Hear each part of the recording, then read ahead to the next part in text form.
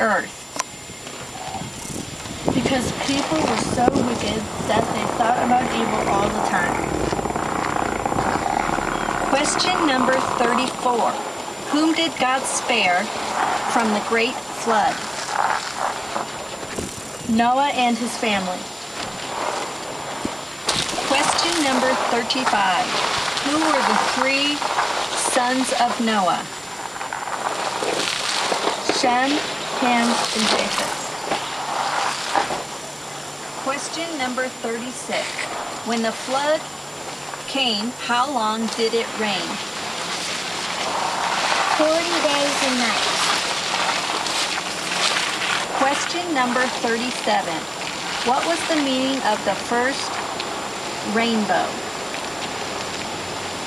It was God's promise that the world would never again be destroyed by a flood.